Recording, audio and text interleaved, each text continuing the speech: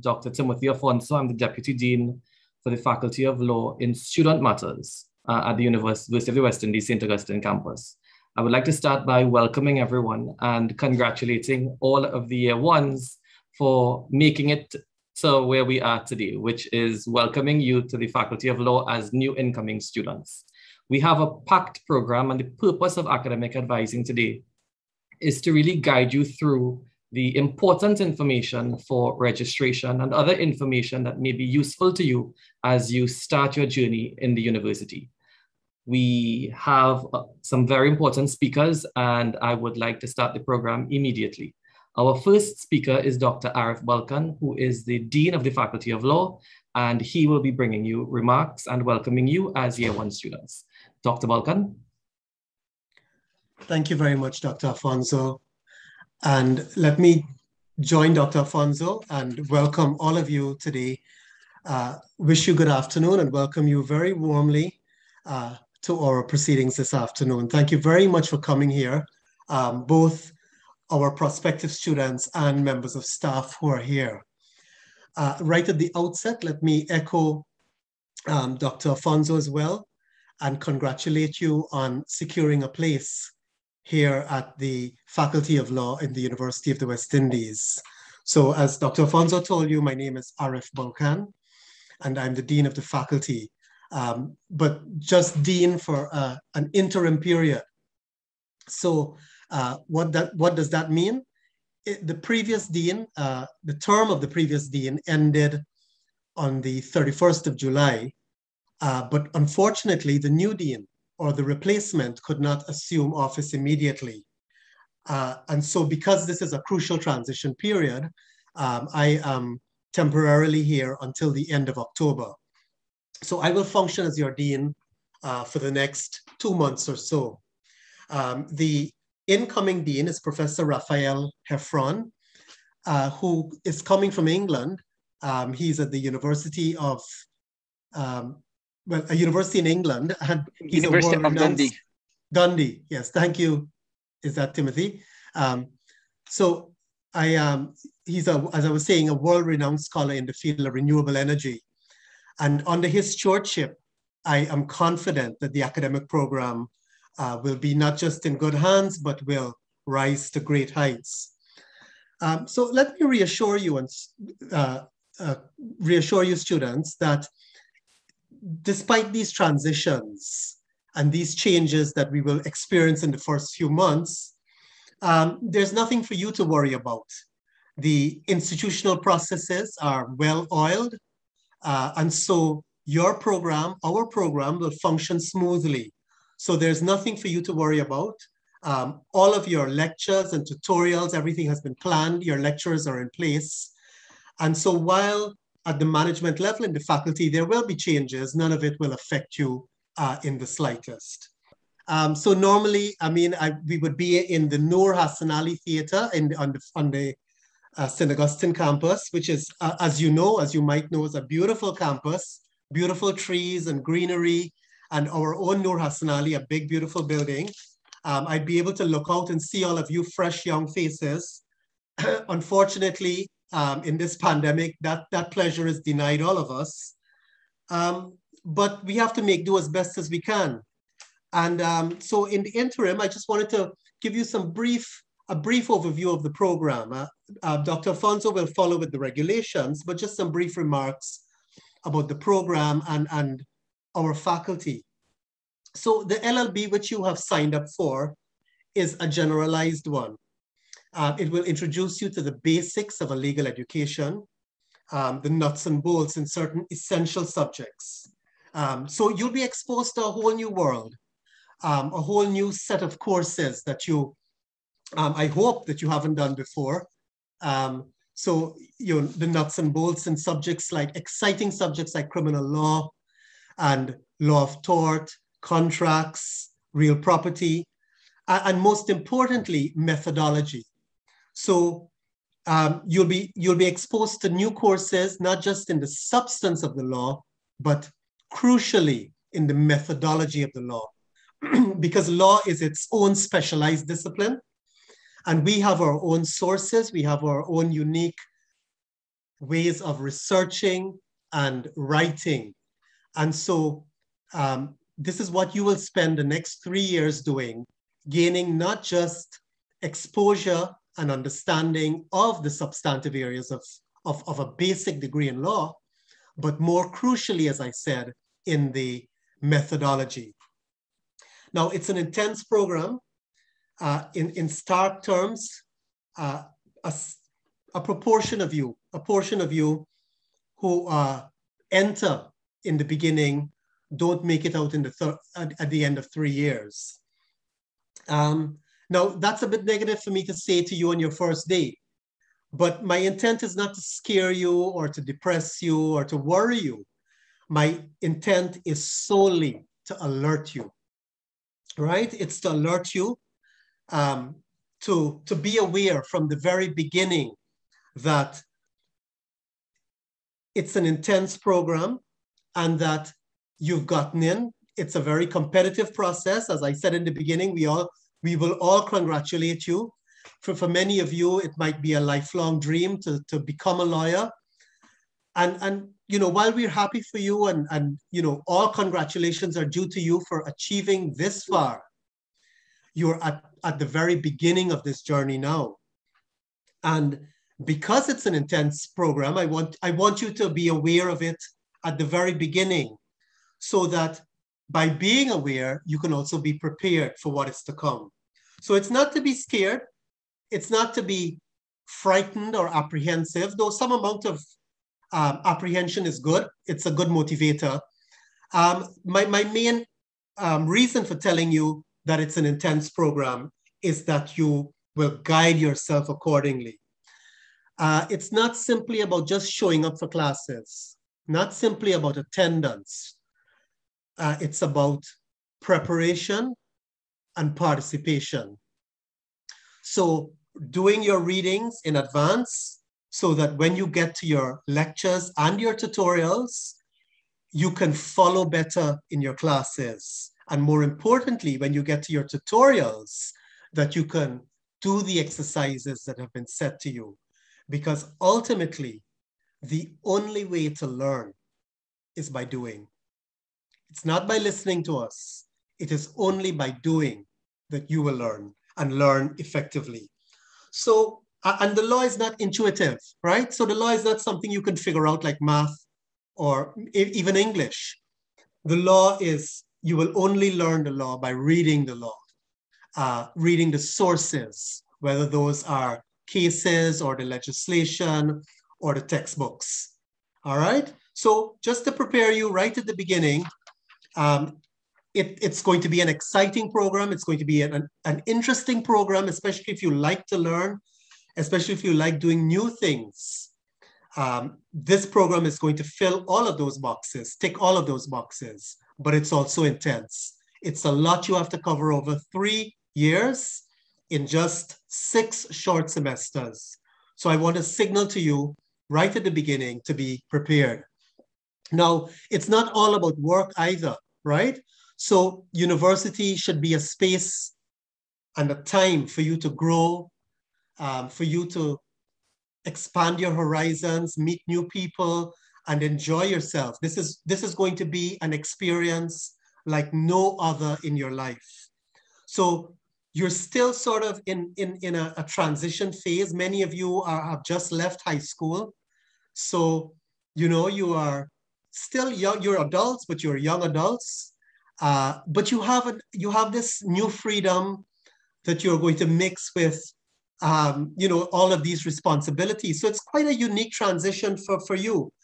Um, my my my um, advice to you, uh, I might I might litter this with lots of advice. You can reject everything, but my advice to you would be, you know, to make the most out of everything that you have to do. So you have to study, you have to prepare, you want to get, you know, get your good grades, but at the same time, whatever is on offer, um, whatever is on offer in the context of a pandemic and then post-pandemic, make sure that you, um, you know, you, you take full advantage of that as well. Okay, so the key for me, my key advice to you would be balance and consistency. So um, balance in terms of, you know, making sure you do the work, but also enjoying experience, enjoying these new experiences. As I said, they are integral to your development uh, in this university, in this new university scenario. Um, I've mentioned the, the pandemic a few times. Um, and let me just say, you know, it's something that has affected all of us. Nobody in the world has escaped it. Um, its effects have been life-changing for everyone, but it has been devastating for some unfortunate people. So the many who have died, many others have suffered disastrous consequences. So while we might be tempted to complain that, you know, we're not in the beautiful Noor Hassanali um, lecture theater on the beautiful St. Augustine campus, at the same time, we have to remember that we are still here um, and we still are, all of us together are, are, are embarking on this journey. So while it's not in the format that we, that you would have wanted and that we would have wanted for you to experience the full joys of an in-person uh, learning experience, um, we it, it's a pandemic, and so the social distancing requirements you know, force us to adopt this forum of this online format. Um, but that said, that said, um, let me reassure you that we have been doing this for several semesters now.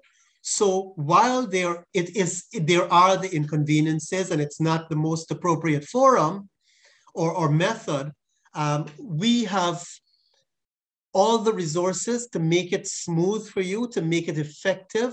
So you will be um, and, and I suppose Dr. Afonso will be giving you the nuts and bolts of this, but you will be given um, the, the relevant links to attend your classes and lectures. Your lecturers have been doing this now for several semesters. So everything will happen in terms of administratively and logistically, everything will happen smoothly. Um, and so again, this is not something for you to worry about. Uh, you just have to do your part, which is show up, prepare, and participate. Now, having said that, I know I appreciate completely that it's not always going to be easy for many of you, aside from the isolation of studying in this kind of artificial environment. Others of you might have challenges, whether it is accessing the tools or accessing the online platform or just having that quiet space because you might have siblings who are in the same you know, in school as well. What I would say to you just briefly at the outset is that we appreciate that there are challenges and that there might be challenges. Uh, I want to urge you not to suffer in silence, right?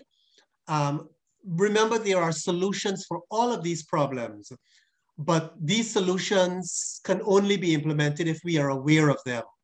So my um, advice to you is to, if you are experiencing any of these challenges, whether it's internet co connectivity, whether it's, um, you know, it's, it's your feelings of, you know, whatever it is operating in this environment, the isolation, whatever, you can raise that with us, with the faculty, your lecturers or the admin, uh, and, and we will do our best to see how, how we can solve or address or even mitigate any of those challenges. Uh, ultimately, ultimately, people, um, I want you to keep sight of your goal. So there are there are challenges that we all face. We as lecturers have the same the same challenges as well. Many of us don't like this format. Many of us, you know, it's it's been difficult on every side. Uh, but what we have to do is to keep sight of the fact that that, or you in particular, of your ultimate goal. Bear in mind it's just a temporary um, it's been going on for more than a year, but you know it must end at some time, uh, and hopefully, definitely before the end of your program.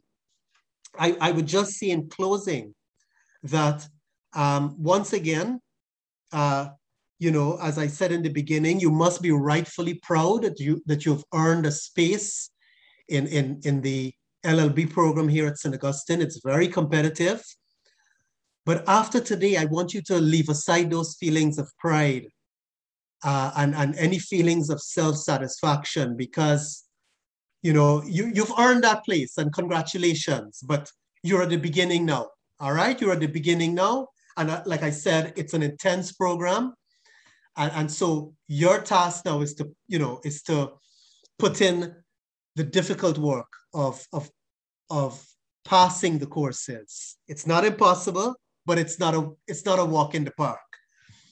Um, I, I'd ask you to bear in mind as well, one last thing, to bear in mind that, you know, you are in a program of tremendous privilege. So it's not just the opportunity to be here, it's all of the avenues that will be open to you as, as if, if you succeed with an LLB. Um, first of all, you get automatic admission to the Hugh Wooding Law School. Uh, people who train outside of the UWI don't have that, that facility. And, and once you are a lawyer, it's a profession that opens up many avenues for you. So in, in, in our history as a faculty of law, we have produced, and this is the University of the West Indies, in the Caribbean, there are prime ministers, there are judges, including at the highest level, um, appellate judges, high court judges, um, there are ministers of government, attorneys general, diplomats, leaders and advisors of governments, uh, so in other words, whether you are going, whether you dream for yourself a career in, and I know many of you might, might some of you might see yourself as a future Mia Mottley or a future Kamla Persad. Um, some of you might see yourself as a future Adrian Saunders or, uh, you know, as a future uh, Keith Brantley in, in, in Nevis, whatever it is. Um, just know that if you if you opt for a career in, in, in the law, in the court, or whether it's in government or industry or business or nonprofits, whatever it is, um, you are in the right place. Um, we have produced in all of those fields. And so this is the time for you to use your, to use this opportunity wisely to prepare for that ultimate goal study and develop, have that balance, as I said, and that consistency. And there's no telling what your future can be. So the last thing I wanted to say, I think I may have said I, am closing already, but um, forgive me. Um, you'll get accustomed to me. I'll be teaching you criminal law and you'll get accustomed to me having many finalies. Um, but this is, a, this is my final. Um, so uh, the, the, the Faculty of Law, um, we have I'm very proud and happy to say a, complement of highly trained and qualified academic and administrative staff. So your lecturers are specialized. Many of your lecturers are specialized in specific fields, uh, and all of us um, have a solid grounding in law. So that's that's why we are here. Um, aside from your full-time lecturers, you will be exposed to part-time lecturers and tutors who come from the top brass of the of the profession. So you have you will have senior counsel teaching you, as well as judges. You'll have consultants. You'll have former diplomats. Um, so in other words, you'll have teachers who are not just versed in, in, in, the, in the substance of the law, but who can expose you to its application. So there's a lot for you to learn from. Um, the ATS staff as well, um, ably led by Mrs. Ali, um, are also here to help you. And what I will ask is for each of them to introduce themselves. So both our academic staff and administrative staff will introduce themselves briefly to you. And so I'll turn it back over to Dr. Afonso, who will shepherd that process. Uh, and so in closing, I just want to reiterate, thank you very much, all of you for coming today welcome again from my side. Congratulations on being here. Uh, I wish you a successful and rewarding and enjoyable time with us here at the Faculty of Law. So thank you very much. And Timothy, Dr. Afonso, over to you. Thank you very much, Dr. Balkan. Uh, you're right. At this point in time, we would all be in a club watching the students, and they'd probably be wondering is this what I have to do for the next three years? So at least y'all are comfortably at home listening to us. Um, we do have a minor change on the program because of one of the presenters who has to be away. Uh, this is Dr. Ramsaran. Uh, but in as much as Dr. Balkan has already said that we will introduce staff briefly, I will just uh, allow each staff member, if they want to turn on their mics and at least say hi, uh, just a brief hi, turn on their cameras if they want to, but just to let everyone know who we are. So I am Timothy Afonso again. Uh, I saw Dr. Pearl uh, in the audience. Hi, good afternoon, everyone. I'm Dr. Emma Peru. I will be teaching you Law and Legal Systems, a very exciting, important course that will teach you about the history and development of legal systems in the region. I will be assisted by two of our past students, both first class honors students, one of whom is a practicing lawyer, one of whom will be in Hugh Wooding. So together we have a very able team to take you through this course. And when you get with your registration, you'll see that there are already loads of materials on my e-learning and I look forward to lecturing you all and being your tutorial leader. So I will see you all next week. Thank you, Dr. Peru. Uh, Mr. Jeremy, Senior Counsel. Good afternoon, students. Uh, I do not teach in the first year anymore, but hopefully by the time you get to the final year, I do company law and the derivatives from company law. That is corporate management and so on. Thank you. Thank you, Mr. Jeremy. Uh, Dr. Koo, he is our Deputy Dean for Graduate Affairs. Hi, everyone. I am Justin Koo. Um, I will be leading legal methods. So you will all be seeing me next week, um, bright and early. Um, legal methods is arguably one of the most important courses that you do because it teaches you all the legal skills that are required to do well in your LLB and not just the LLB, but to become successful lawyers or successful at any other career that you choose. So um, looking forward to greeting all of you next week. Um, the only thing, the only piece of advice I have for you at this point in time is clear your brain, enjoy the last few days of non-law stuff um, because you're going to get deeply immersed into the law for the next three years at least. Um, so yes, I do look forward to seeing you all. Thank you. Thank you, Justin. Uh, Mr. Charles. Good afternoon, students. Um, Welcome to the Faculty of Law. I will not be seeing you this semester as I'll be teaching jurisprudence and employment law for second years and final year students respectively. Enjoy your stay at the faculty and maximize the potential. Thank you. Thank you, uh, Dr. Pereira. Good afternoon, everyone. Actually, I, I usually teach mostly at the LLM and the third year students, but I will be assisting Marcus as well in some of the tutorials for Tort Law 2. Thank you. Uh, we I believe we have Miss Raja, who is our librarian. We can't function without Miss Raja. Hi, good afternoon, everyone. Um, I will be meeting you in the first instance as part of your legal methods research and writing course where I will be offering um, sessions on the basics of locating legal materials and the use of some specialized um, legal resources. I just need to underscore to you that as the library is currently um, closed, the emphasis is really going to be on electronic resources until the library reopens or we um, resume our lending services.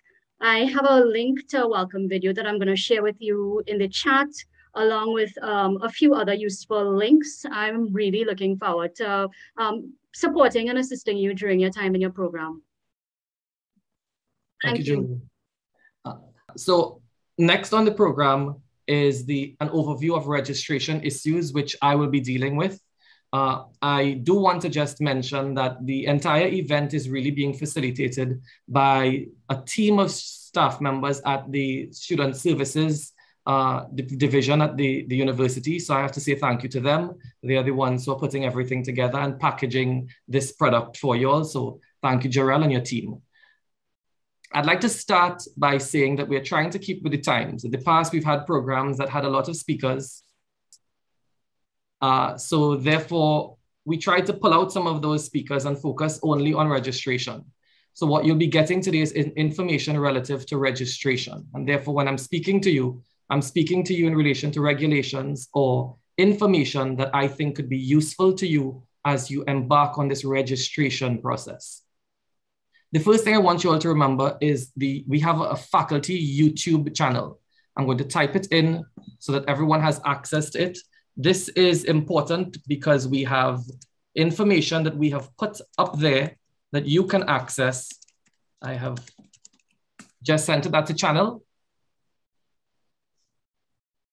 So Dr. Has just said that she has sent the presentation to student services and it would also be on their website. So we'll just direct you all to that. Thank you very much, Dr. Armstrong. Uh, so you, you will get access to the information. So I have posted in the chat uh, the channel name for the Faculty of Law at the St. Augustine campus. And in that, you will see a presentation by me on the seven-step registration process at the university. It will guide you through each step. What we have today are specific speakers that can address certain uh, steps that I think you all need to pay particular attention to, particular issues with GATE and bursary and the new fee pay system that we have built into the system. But I will leave that up to staff members at the bursary to fully guide you all, and there will be an opportunity for you to ask questions of the staff while they're presenting or at the end of their presentation so that I don't want anyone to feel that we're just giving you information and you can't engage with us. If anyone does have a question, please feel free to either type it in the chat or to put your hand up and we will field those questions as we proceed. The other issue I want us to discuss is the idea of this new systems for integrated guidance and integration. This is a directive that was forwarded to our dean, and he has asked me to make specific mention of it to you all. This is a system that allows the university to assess your interests, your personality, values, and skills. There is a link which can be found on the Student Services website, but we will also provide you with a link via uh, from the faculty office to guide you to facilitate that uh, the completion of this particular survey. Uh, the next step is the registration process. Now, there are steps that pre preceded this particular step. We are currently in what is known as academic advising. Now, before academic advising, I'm sure all of you all would have gotten a package. You would have read through your package. You may have looked at our handbook. The faculty has a faculty handbook. This can actually be found on the faculty's webpage. If you search UWI St. Augustine Faculty of Law Handbook 2021, the PDF document comes up. This is a very useful document. It's not just for a new student, but it also guides you through the entire program. It tells you who your staff, who the staff members are. It tells you what the regulations are for your program. It tells you what courses you can study, what courses you must do. It also deals with issues of failures, how you deal with registration, how you deal with the new GPA. Now, I know it's a lot of information that will be coming at you but the handbook is a good place to always begin your interrogation. If you have a question, more than likely, the handbook is going to have an answer. And if it is that you can't figure out the answer, please feel free to contact me as the Deputy Dean for Student Matters. Also, you can ask any lecturer uh, for guidance. Also, Mrs. Kun Kunkun Ali, who is our AO, can assist with any administrative issues that any of you may have. So as Dr. Balkan said, don't feel like you are in this alone. Uh, in the virtual world, there's a tendency for us sometimes to feel as though we are very uh, or operating in a silo or in a vacuum. But I need you all to see, us, see it almost as if we are part of a team, just not physically together, but we are all here. So if we look at the, the advent of technology and what we can do with technology, there really is uh, there's a lot of support that you can access if you simply use access, use your email uh, and send email out. We are very responsive and lecturers, students in higher years, the Students Society, the Law Society, we are all here to lend support to you all and bring you into the fold. Registration dates. Registration began on the 23rd of August. It will end on the 16th of September. From the 17th of September is what we refer to as late registration, and that goes until the 1st of October. So let me say that again. This is actually in our academic calendar. You can Google it, academic calendar, UWI St. Augustine 2021, 2022, and all the important dates comes up. This includes registration, it includes when exams begin, it includes when teaching begins, as Dr. Bal- uh, as Dr. Koo said, teaching begins on the 6th of, of September. That is Monday. Uh, when you get your timetable, you need to look to see what classes you have on Monday, because more than likely, for the year ones, those classes will begin. So you will need to start almost immediately, as, doc, as Dr. Koo said, your time for relaxing is pretty much over. You have to now get your mind into a place where you're ready to do work because the work is going to come. Now, what courses do you have to do? I believe in your, in your cohort, there would be direct entrance and year one students. A direct entrant is someone who does the program in a three-year program in two years. They have to be students with first degrees and with a first class honors in that degree. Those persons, uh, there probably may be very few of those students, but those students have a much larger course load to do. For the majority of the students who are doing the typical three-year program, you must register for three compulsory law courses. It's Law 1010, Law and Legal Systems, Law 1230, Legal Methods, Research and Writing, and Criminal Law 1, which is Law 1110. All of this information is already in my presentation that I posted on the YouTube channel. So anything that you may have missed, feel free to go to the YouTube channel and I will set out all of these courses there. You also have to register for two foundation courses this year. Foundation 1101, which is Caribbean Civilization. I'm sure that's a course all of you have heard about from friends who may have started UWI last year or years before. And Found 1210, Science, Medicine, and Technology. So these are foundation courses that we advise you to register for now because although they are not law courses, they are compulsory courses that must be completed for you to successfully graduate with an LLB. Now, the direct entrance for those persons who are doing the program in two years, in addition to those courses, you must also register for Law 2320, Public International Law 1, Law 2510, Jurisprudence, and Law 2210, Real Property 1. So these are additional courses that you need to register for. Uh, so again, all of this information is in the handbook. So I don't want you all to just feel uh, bogged down by all these course codes, just to let you all know that there are a set list of courses. So if you're speaking to friends in other faculties and they're saying, well, they're choosing this and they think they might do that, that's not your position.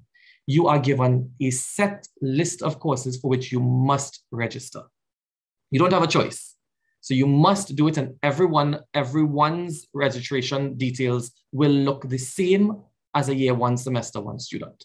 Just want to remind you all that. And please remember that you must ensure that these are the correct foundation courses that you're registering for. And, and I believe we have someone speaking about, yes, we have Dr. Sanderson Cole who will be speaking to you about the foundation English courses. So if you have any questions about the foundation English courses, you will have someone here who will, presenting, who will be presenting direct information on that. Now, there is a new process that has been built into our financial uh, component of registration. And I think this is where everyone tends to get stuck a bit. If you look at the seven step process that the university has set out, one of the steps is the application and getting approval for GATE. That is your personal uh, ability. That is individual students' right to access GATE funding from the government. The university has a parallel system known as FeePay.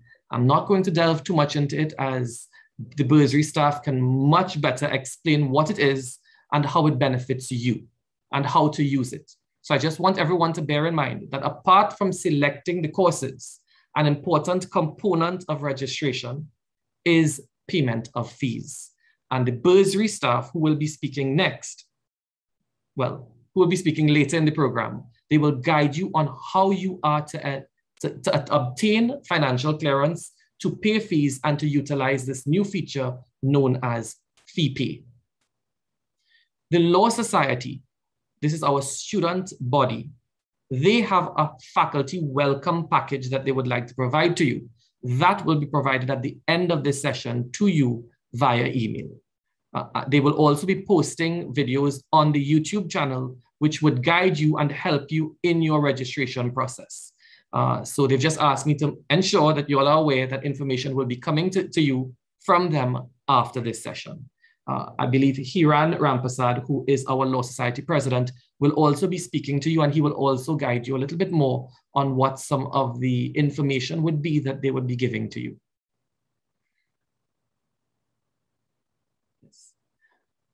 I also I need to mention one more thing, and that is when it comes to persons who may have done courses for which they think they are entitled to an exemption. So they think that they don't have to do these courses because they have done courses similar. There is a form on the admissions page, admissions page of the university, and it has forms, and one of the forms is exemptions. If you think that you have done a course like the foundation courses before and you don't have to repeat it, you go and make an exemption on that exemption form in admissions and they will process your exemption. The faculty does not process exemptions for courses in other faculties. Again, if you think you are entitled to an exemption, you are to use the exemption form on the admissions page and make the exemption there. They will process your exemption. as Deputy Dean for Student Matters, if there is any specific administrative issue that you have, you can feel free to contact me. You can also feel free to contact Mrs. Kun Kun Ali. Of course, if there's any lecturer that you know or you have a contact number for, you can reach out to them and they will forward the information or the request or the concern to us. And we will do our best to help you resolve any issues that you have. So I don't want to stay any longer. I think I've used up my time. If there are no questions and if Dr. Balkan or Dr. Koo has nothing that they would like to add, I would move on. Any questions, any additional information, Dr. Balkan or Dr. Koo that you would like to add? Um, perhaps just to confirm, um, Dr. Afonso, that um, lectures do start next week. So um, like lectures will start next week for um, at least for criminal law. And I think I heard Dr. Perot saying, see you next week as well. And just to clarify, could you just say again, Dr. Afonso, what foundation courses are required this semester? I have Caribbean Civilization found 1101 and SciMed Tech found 1210. I think it's 1103. I mean, let's sort that out and move on. Okay, fine. Um, okay. Let's move, I will, before let's the end of the session, I will get the correct dates. Yes, sure. Yeah, thank you. And, and, yeah, okay. So that's all from me. Okay, thank you. So we will now turn over to Dr. Sanderson Cole, who is the coordinator for the English Language Foundation course requirements for law students. If Dr. Sanderson Cole is here, sorry, I have a question from Joanne Phillips. Yes, Joanne? Um, good afternoon. Um, Hi, good so afternoon. I don't, I don't know if I'm jumping the gun, but um, I just need a question answered. Um, could a student um, begin classes without paying all the required fees, like the registration fees and stuff? So I'll leave this to the bursary to answer, but there is a period of time within which fees need to be paid. And registration, as I said, doesn't end until the 16th of September. So that therefore means it is contemplated that some students may still be in the registration process, which would include payment of fees even after the semester has begun. I don't know if that answers the question, John. Yes, it does. Thank you. Okay, sure. Okay, good afternoon, everyone. I'm Hi, good afternoon. Hi, everyone. Good afternoon. I am here representing the English Language Foundation courses. Um, we underwent a name change the other day, so we're the Academic Literacies um, Program. I'm happy to be here, happy to be part of your orientation. Welcome to the University of the West Indies. I have two sons actually who did law, or at least who passed through law kind of thing. And I asked them, I said, um, I have to speak to the law students tomorrow. What do you think I could tell them that would inspire them to do the foundation courses? And one of them said, Mommy, they're already in law. You, they're already inspired. There's nothing you can see. And the other one said, oh, foundation, they don't want to do that. There's nothing you can see. But I'm going to go brave, okay? So the English Language Foundation courses are part of what every faculty, with the exception of MedSci and engineering, do as part of their overall university requirements. And the whole thinking behind the foundation course is to provide a kind of platform from which we can ensure that as university students going out into the wide world of work, you have the necessary um, skills and tools in, in language, in understanding your region, its place in the world, that kind of thing. Um, specifically, I, um, with the English language courses and for students of law, your only English language requirement is found 1103, which is argument and report writing, something you all should be very good at. Um, and that course is only offered in first semester. So like you would have heard from some other presenters, classes kind of start next week. Actually next week, Monday. So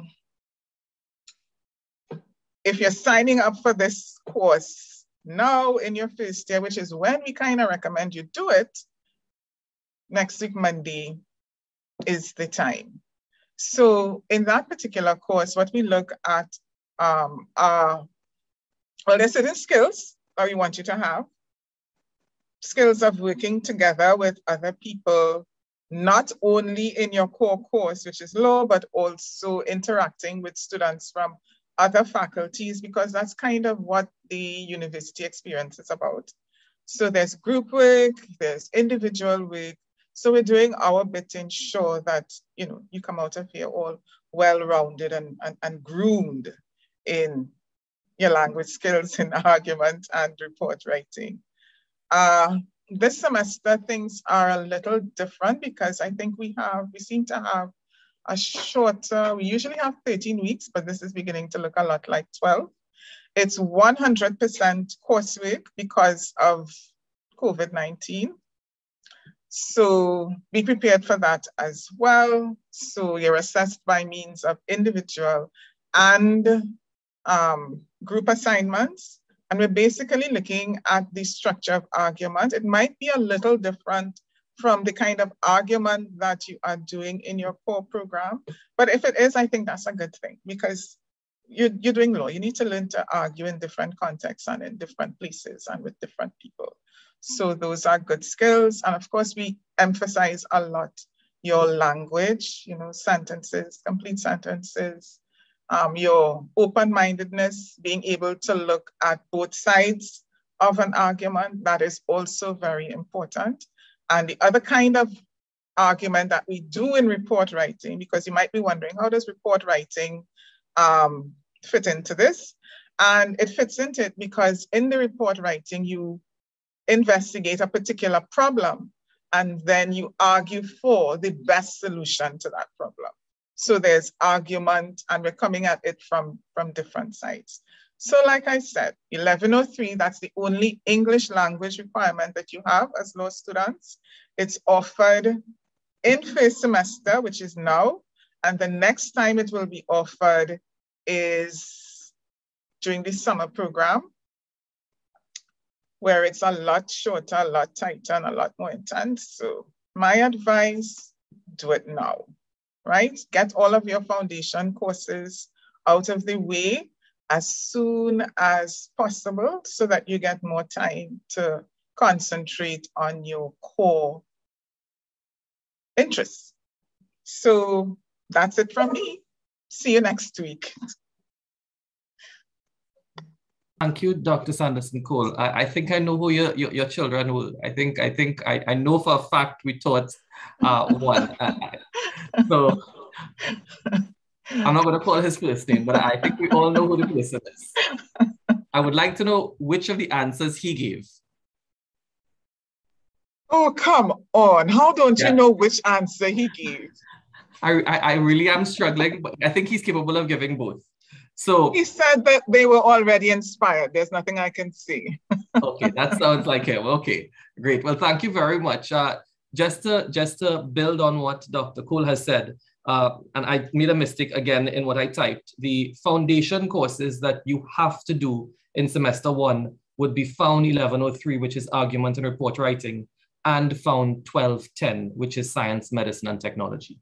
So those are the two courses you're doing this semester.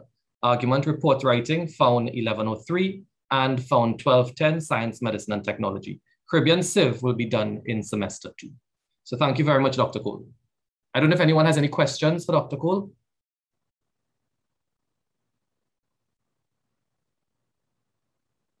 Okay, well, thank you very much. Let's move on with the program. Uh, our next presenter is Miss Raja. Uh, wait, sorry, I'm seeing two hands. I'm seeing two hands. Christine Lee Brown. Christine, and then Jensen.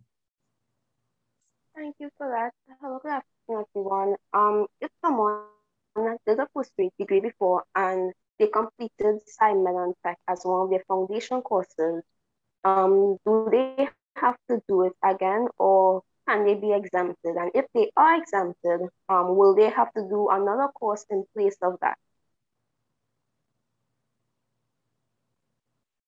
Okay. Christine, is the question, if you have already done the foundation courses and you're applying for an exemption, do you have to do another course to make up the difference? Is that the question? Yes. Yeah. No, you don't, because what you'll be applying for is something known as exemption with credit. So you'll be getting an exemption and you'll be getting credit for the exemption. So you won't oh, have to do additional courses to make up for it. Um, can I just? Yes, yeah, sure, Dr. Cole. Um, pushing something there. Um, courses at the UWI kind of operate in two, in two areas. There are courses that you can get exemptions from. I think that the there used to be a rule that said that after five years, that a course had a pass mark of uh, or accuracy or rate of five years. That has been removed on all courses, I believe, except foundation courses. So I know specifically if you're looking at foundation courses, if you have done them in a degree before, and let's say time has passed, you're not going to get an exemption. So you have to be very careful about the course that you're applying for.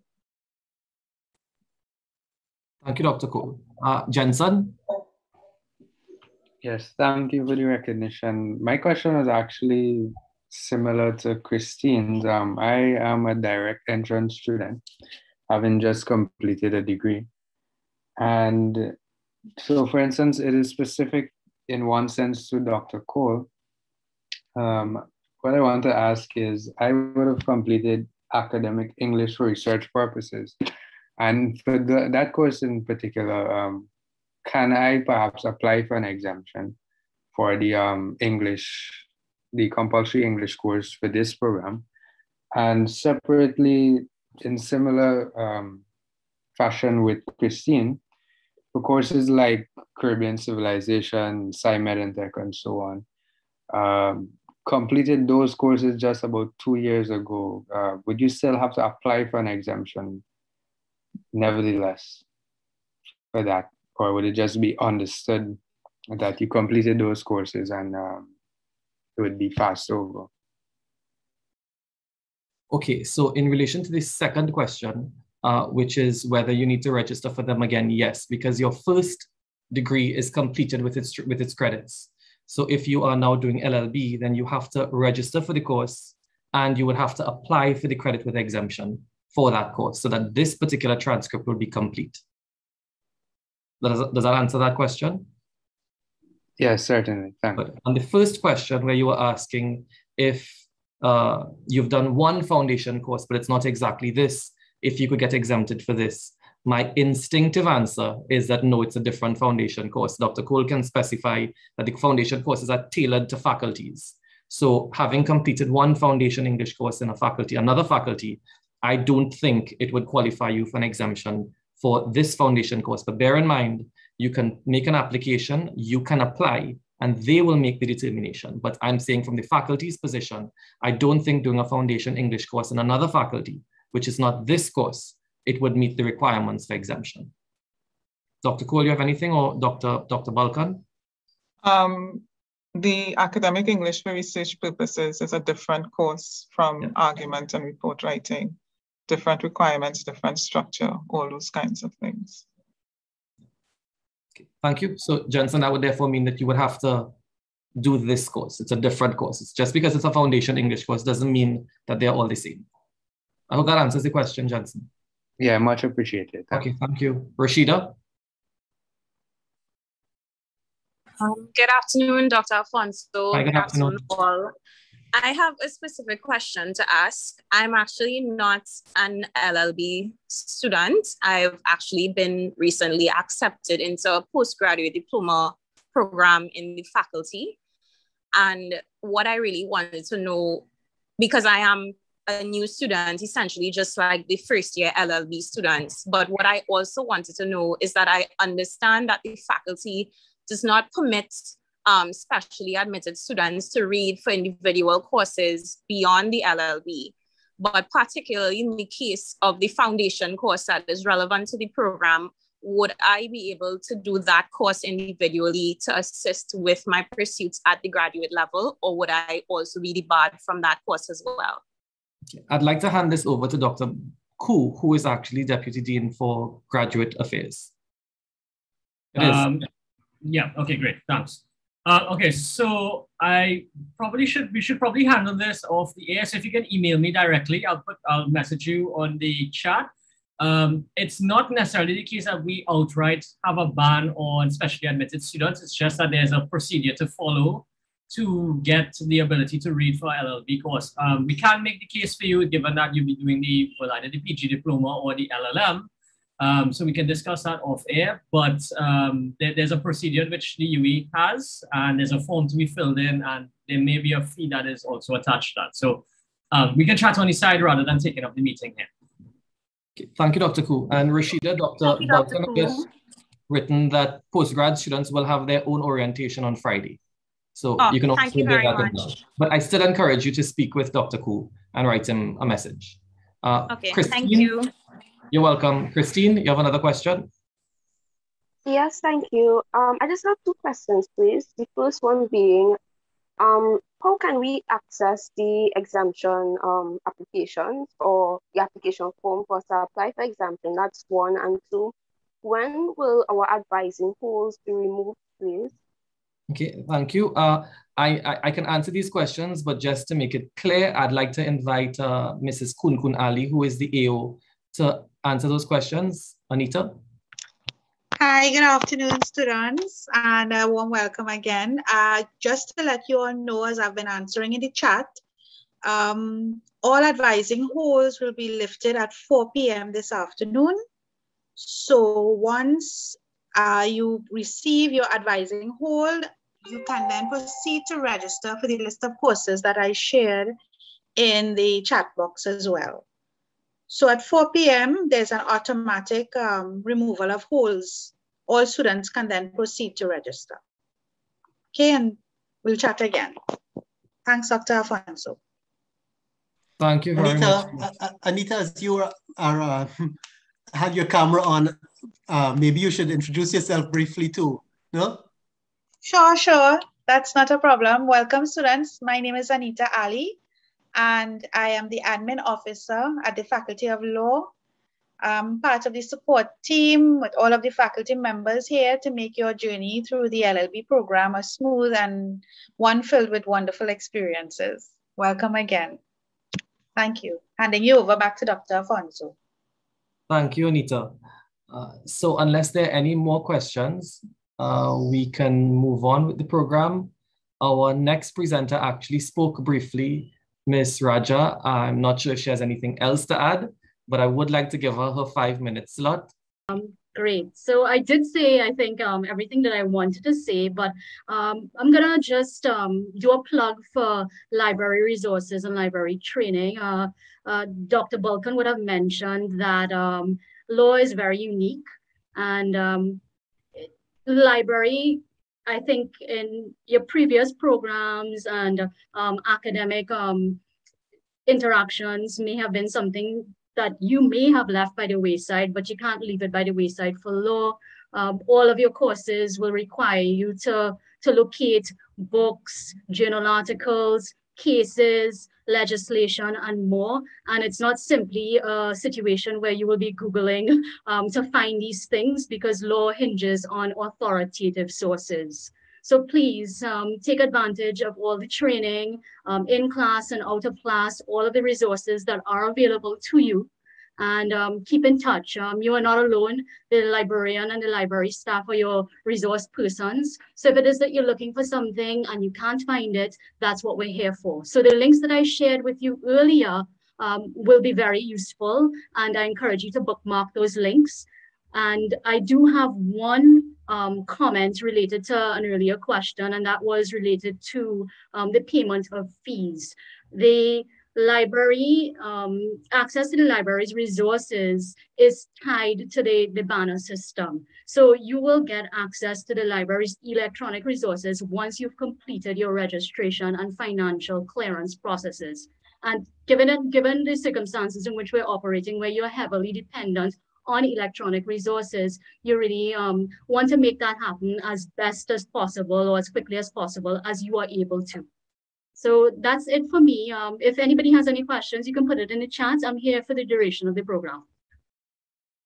Thank you very much, Ms. Raja. And I, I don't think you all are going to appreciate just how powerful Ms. Raja is until you all can't find something and she can.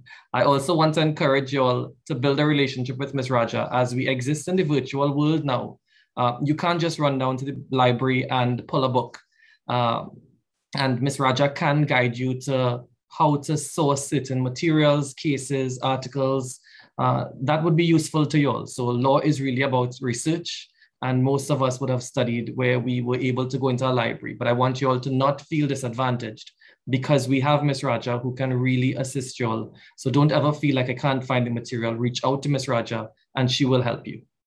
Thank you, Jolie. Uh, so I would like to take us now to the bursary representatives it's normally Mrs. Gooding, but I'm not seeing her, but I am seeing Mrs. Howard. All right, so good afternoon to everyone.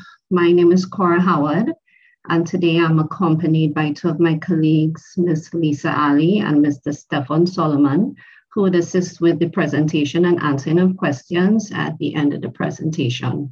So we are representing today Mrs. Carolyn Gooding. She's the Senior Financial Manager for the section, and she extends her apologies for not being able to be here today as she had a prior engagement. So we just want to take the time to say welcome to all our new students on behalf of the bursary and to just wish you all the best for your time spent at the University of the West Indies. And we really hope that it's going to be a memorable one and one that is fulfilling and that each one of you will succeed with everything you put your, your mind and your heart to. So we'd want to take the time to share with some of our processes that have changed. Um, and it has really been enhanced to allow benefit to you, the student. And a major aspect of that is fee pay, which I will speak about later on. So financial clearance, I think we've heard the term spoken a bit during our time here. And what is financial clearance, you may ask? So financial clearance is the term used to communicate that you, the student, have met all your financial obligations to the university by submitting your registration documents, paying your fees in full, or maintaining your expected fee payments. So financial clearance grants access to all of these things that you will see here, a student ID card, health services unit, sporting facilities, UWI parking pass, my e-learning, library services, access to my secure area, and access to examinations. So we want to introduce you to FeePay. I know the term is not new, even if you did not hear about it before, it was used earlier by Dr. Alfonso. So what is FeePay? FeePay is a new initiative designed to issue automatic financial clearance and automate the management of the payment plan process for all students at the UWI St. Augustine campus via the TouchNet platform. So if you're a local student, regional or international, you could benefit from FeePay. So this initiative has been in the planning for the last three years, and a team of persons have worked arduously to ensure that it works. We have tested the system, and we're positive that it is robust and would allow for the benefits expected to be gained. The plan is accessed through My Secure Area after you have registered for your courses. So TouchNet, just a little bit of background on TouchNet. It has been used by the University of the West Indies for the past seven years and it is used worldwide in over 19 countries by over 17 million students. So it is robust. So just to give you a little breakdown of what the payment plans would look like under FeePay, there are two categories, one for sponsored student and the other if you're a non-sponsored student. If you're a sponsored student, which means that you're gate funded or benefit uh, benefiting from a scholarship, you would sign up under sponsored students. Otherwise, you self-funded, paying for your own fees, you would sign up under a non-sponsored student payment plan. So the installments, there are three installments, whether you sponsored or non-sponsored would determine the percentage that you would be expected to pay. The deadline dates remain the same. So for semester one, the first installment is due on the 2nd of October, second installment, the 15th of October, and the third installment, the 15th of November. Now, the first um, deadline date, 2nd of October, which is which was set up for after the registration period has closed. Um, so for a sponsored student, you would be expected to make 15% as your first installment, your second installment, 15%, and your third installment, 70%. If you're a non-sponsored student, your first installment would be 40%, with your subsequent payments being 30% and 30%.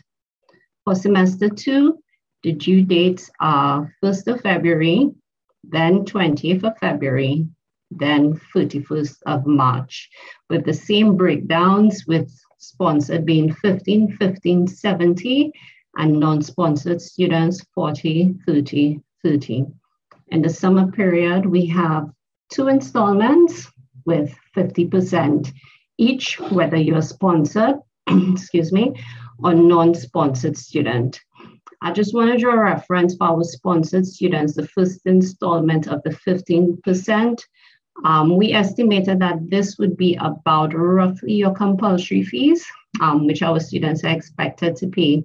If it is that for whatever reason your 15% payment that is required is more than what you expect to pay because you get funded or whether you're a GRTT scholar, all we advising that our students do is to request a refund during the semester and a refund would be um, would be done or you could choose to allow for that overpayment to be applied against your future billings. So my colleague will speak about that a little more in detail, right, when we go on. So the modified registration process, Dr. Alfonso touched on this as well. Um, so just to share a bit, number one, get your registration information. Number two, register for your GATE e-service ID. This is for undergrad T&T nationals only. Number three, go to academic advising then select courses online. Number five, which is important, you must enroll in FeePay to obtain financial clearance. So this is new and this is mandatory. You can't skip this step. You must ensure that you enroll because this is the only way that you would gain financial clearance. Number six would be get your UWI ID smart card. Then number seven, maintain financial clearance by submitting all your registration documents and also ensuring that your required installment payments are made by the stipulated due date. Also to note for our students, an enrollment fee of $35 is spread over the installment payments. So this $35 would be incurred every time you enroll in the FeePay. So important to note, once you enroll in the FeePay payment plan, you will be granted automatic financial clearance. So once you've successfully enrolled, you've registered for your courses and you go on to enroll in the payment plan, then you would be granted financial clearance, right? Um, the FeePay system would calculate your installments based on the balance on your account, which includes your compulsory fees, tuition fees, and enrollment fee our sponsored students, I just want to say as well, it's important that you submit your relevant documents to us um, because only then would we be able to update your account with the your, your status as being sponsored and allow for the actual amount that is due by you to be reduced and to reflect what is really expected to be paid.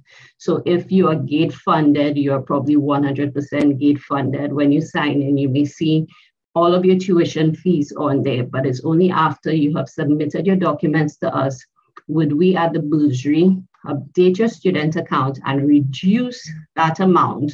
So when you sign in again, after that has done, you would know that, okay, what is actually due by you is what you are actually expected to pay. So right now I'll hand you over. I hope that's clear, but we will take any questions at the end of this presentation. And right now I just wanna hand you over to Ms. Lisa Ali, who will take you through the rest of the presentation. Thanks, Cora. Good afternoon, everyone. And thanks to the Faculty of Law for having us to be able to share this information to you and to you students. A very heartfelt welcome to you all. So I will be going through to you with you rather how you can maintain that financial clearance.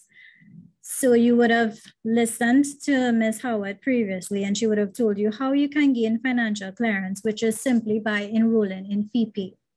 Now, one of the methods to maintain your financial clearance would be to pay your fees. Now, what exactly are we referring to when we say pay your fees? One of the things that we would like to remind you, although we are telling you or we're asking you to enroll in FeePay, and that system is a fully automated system that allows payments to be made via a credit card or a local debit chip card, you do have available all payment methods available. And those payment methods would be, again, using the online portal, which is through FeePay with your debit and credit card. If you prefer you would like to go to the bank physically and pay over the counter using one of our Republic Bank deposit slips, you also have that option available. If you prefer to do the transaction right from your phone or your computer at home, you can do that online transfer as well. And for our foreign students, if you prefer to use a wire transfer, that is also available to students. So just to reiterate, any one of the payment methods are acceptable. What is important is that you send the proof of payment to us so that we can easily update your student records.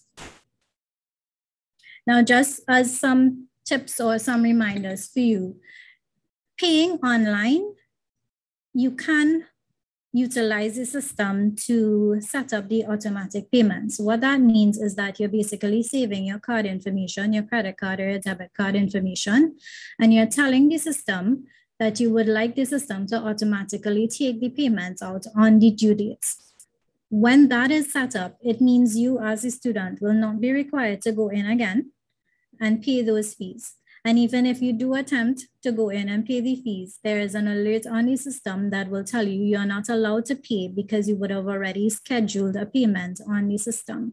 So it's a mechanism designed to prevent you from double paying basically enrolling in FeePay is important before you actually make any payments. And this is important because you must have charges on your account before the system could take your balance, your student account balance, which would be your compulsory fees and your tuition, and calculate the installments on those.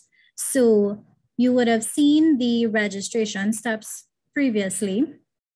We're asking if you can follow, kindly follow the order of that. So the first thing that we're asking you to do after you've gone through this academic advising session and you have at four o'clock today, you have your academic advising hold remove. I'm not sure if somebody wanted to say something. Okay, so after your academic advising hold is removed, we're asking that you go online, select your particular courses. After you have selected your courses, then follow the fifth step, which is to enroll in FeePay. And then after that, you can make the arrangements of paying your fees and submitting your documents to us. Now, a question that is usually posed to us when students are utilizing the other payment methods, which is through the bank or wire transfer, or if they're doing online banking, we are constantly asked if you need to separate the breakdown of the payments. That is, if you need to specifically tell us X amount is for tuition, what is for compulsory fees, and of course, the enrollment fee.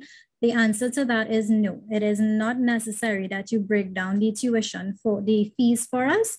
We will know what your fees are, and the system will take it and apply it accordingly to the eligible charges on your account. Now, while we're telling you that the payment methods are available, all payment methods are available, just some information so that you can be aware in the event you made a payment and you haven't yet seen it posted to your student account.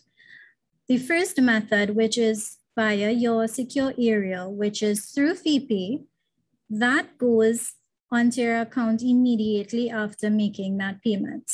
So it's posted one time, you can always go and review the payment. In FeePay, though, just a note as well, even though you enroll and you would have made a payment, the recalculation is set to happen every 24 hours. So you may have enrolled and made a payment and you still haven't seen your fees reduced. Don't be worried, don't panic. It's just that the system is set to calculate every 24 hours so, so that you can see it reduced the day after. If you make payments through the other methods, which is through your online transfers, or if you go over the counter, or if you're using a wire transfer, we're asking that you allow three to five business days. Why three to five business days? And that is simply because we are completely dependent on the banks sending us information for the funds being received into our accounts, as for example, the wire transfers into our Forex accounts. And only when that happens can we really allocate the payments respectively to the student accounts, all right? So just bear that in mind when you're choosing whatever method of payment is most suitable for you. Now, the second way of maintaining your financial clearance will be to submit your documents. What are the documents that you need to submit to us?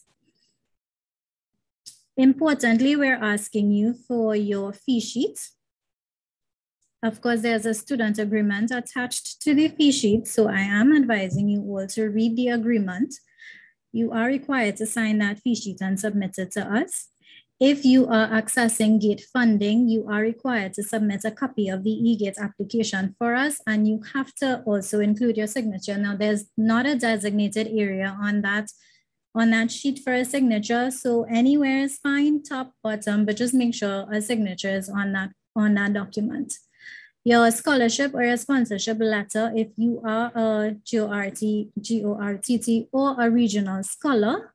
This also includes persons who may have been awarded the national bursary from the government of Trinidad and Tobago. You will be presented with a letter from your scholarship officer. So we're asking that you also submit that as well for us.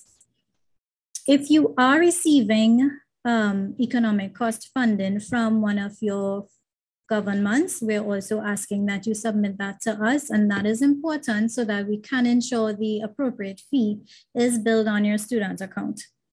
And then finally, your proof of payment is important for us to be able to know for sure which student account the funds are to be allocated to.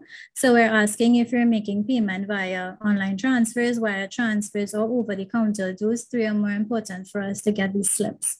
If you pay through FeePay, which is using your credit card or your local debit chip card, it's not mandatory to submit that to us. We are going to see the payment posted on your account. Now it's a new method of having your documents submitted to us. We do have two links or two inboxes. And the first one is for all your registration documents. Now, all of these are located on the registration website. If you just go in and you Google registration 101, you're going to be presented with the seven steps. And there is a bursary website, which we will get to as well for more information. So you will be provided with the link. When you click on this link, it takes you to a page where you have to log in and pro provide certain information, such as your name, um, your email address.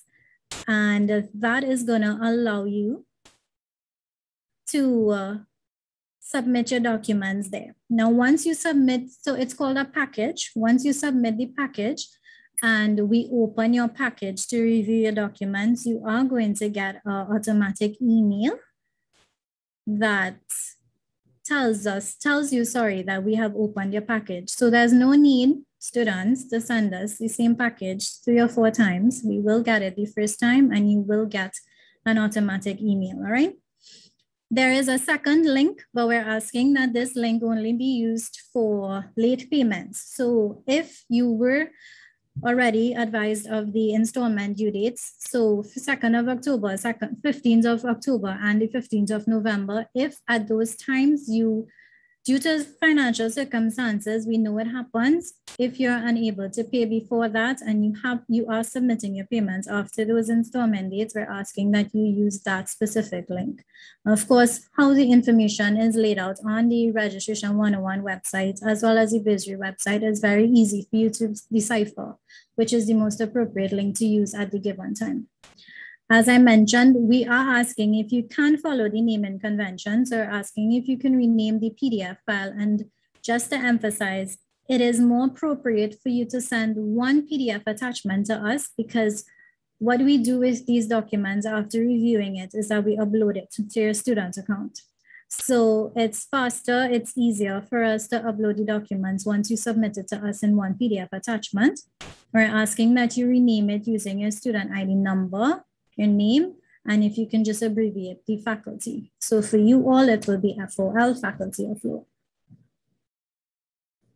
So just to reiterate, while we are issuing financial clearance for the entire semester to you at the beginning when you enroll in FeePay, you as students have the responsibility to ensure that you maintain the financial clearance.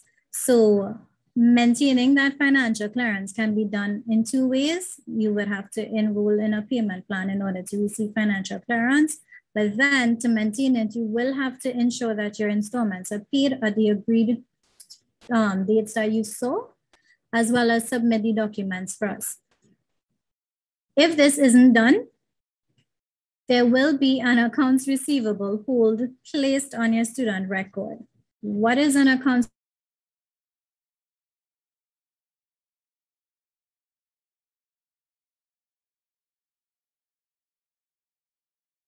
not be able to attend your online classes or your tutorials or any session that is online because we know it's heavily dependent on a virtual environment right now. So we're asking students, please, it's your responsibility, it's your access to your university. So please ensure that you do follow the guidelines. Um, your library services, as was mentioned before, would be hindered. And of course, ultimately, we do get to that point, your graduation will also be hindered. Now, some tips. Um, when you are paying online via, we're asking if at all possible, if you do have access to a credit card or if you do have access to a local debit chip card, that you use this so that your accounts are updated immediately. And we're asking whenever you are sending documents to us, or even if you're communicating to us with any concerns or queries that you have, we're asking that you do use your UWI email address, your official UWI email address.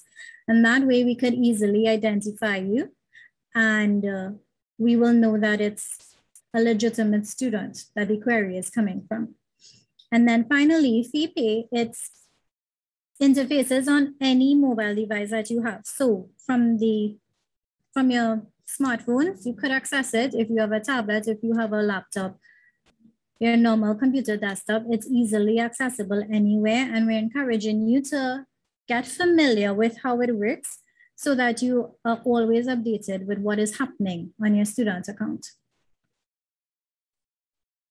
Now I mentioned that there is a bursary website. So this is something that has been introduced from this academic year. So you all get the opportunity to share in this with us.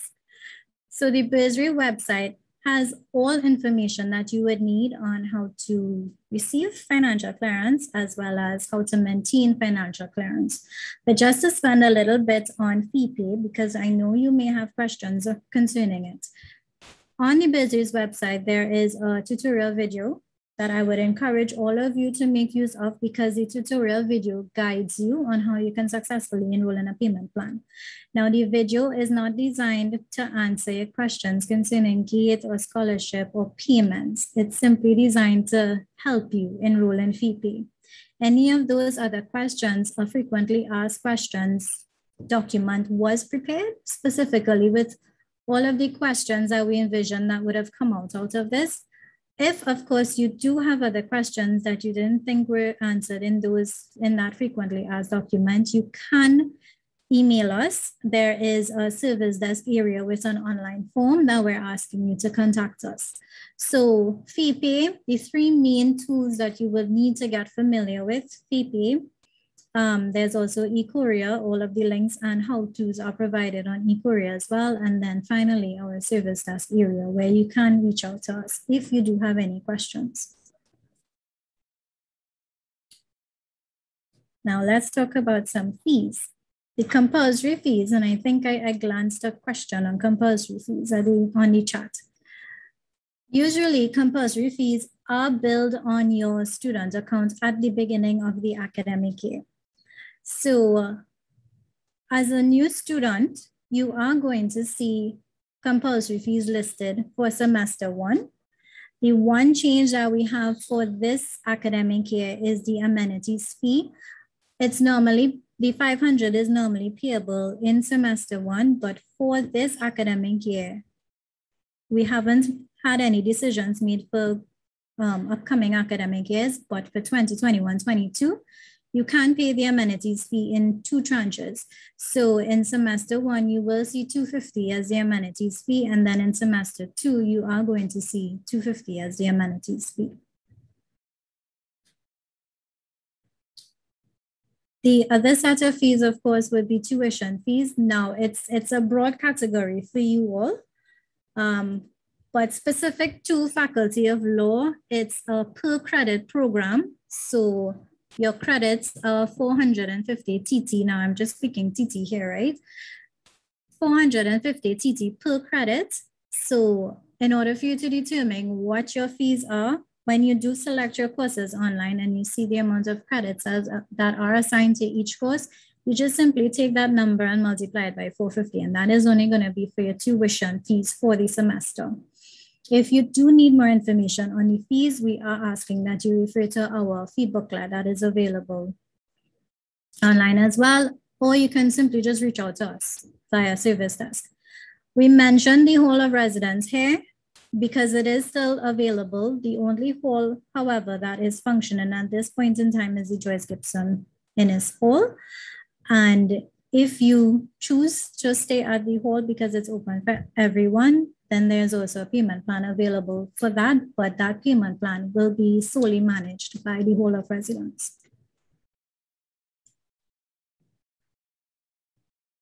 Now for gates, I know a lot of you will have questions on gates and especially how it impacts with FeePay. So before we get into answering those questions, just to run through, there were some changes that were made to the uh, brackets of GATE funding. And just to go through them briefly, and this was effective August 2020. All students are required to do a means test. So previously the means test was optional, but with effect August 2020, each student requesting GATE funding or attempting to access GATE funding are required to do a means test. The penalty for not doing a means test is that your application is immediately going to be clearance rejected and you will not be able to access the gate funding unless you resubmit and do the correct thing. So household income, the bracket, if you are in a household where the income is less than 10,000 per month, then you are eligible for 100% gate funding. If your income falls between 10,000 and but it's less than 30,000 per month, then you are eligible for 75% gate funding. If it's between 30,000, but it's less than 75, then you can get 50% gate funding. And where household income is above 75,000 per month, you will not be able to qualify for gate funding. Now, just a reminder, gate funding is on tuition only. It remains your responsibility as a student to pay your compulsory fees.